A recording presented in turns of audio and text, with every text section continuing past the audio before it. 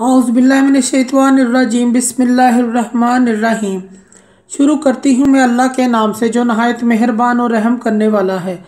Moz सामिन कराम असलकुम रहमतुल्लाह वबरकातुहू उम्मीद है आप खैरियत से होंगे। अल्लाह पाक आपके तमाम जायज़ हजात को पूरा करे। अल्लाह पाक आपकी मुश्किल का हल फरमाए। आमीन। सुमा आमीन।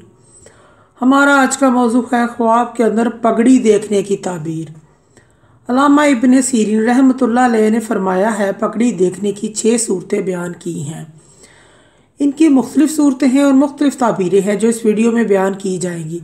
अगर आपने इस चैनल को सब्सक्राइब नहीं किया तो कर दे घंटी के बटन को भी दबा दें, ताकि आपको आने वाली वीडियो का नोटिफिकेशन मिल सके। ख्वाब के अंदर पगड़ी देखता है। ये ख्वाब देखने वाले का ताज है, उसका मर्तबा इज़्ज़त और उसकी बीवी पर दलालत करता है। ख्वाब के अंदर किसी अजनबी शख्स को पगड़ी बाँध रहा है या बाँध दी है। ये ख्वाब बेज़ती और परेशानी का बायस है और अगर पगड़ी ले रहा है तो ये गैबी अमदाद मिलने की अलामत है। ख्वाब के अंदर पगड़ी ख़रीदी है। ऐसा शख्स की परेशानी दूर होगी, कारोबार में तरक्की पाएगा, इज़्ज़त पाएगा। ख्वाब के अंदर जर्द रंग की पगड़ी देखना, ये सर दर्द की अलामत है। ख्वाब के अंदर काली पगड़ी देखता है या बांधता है, स्याह पगड़ी देखना इज़्ज़त और बुज़ुर्गी की अलामत है। ख्वाब में कोई शख्स अपने सर पर पगड़ी बाँध रहा है, ख्वाब देखने वाला शख्स हर फन मौला है। जो काम करेगा, तरक्की हासिल करेगा।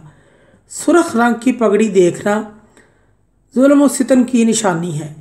नीले रंग की पगड़ी देखना किसी मुसीबत में मुबतला होने की अलामत है।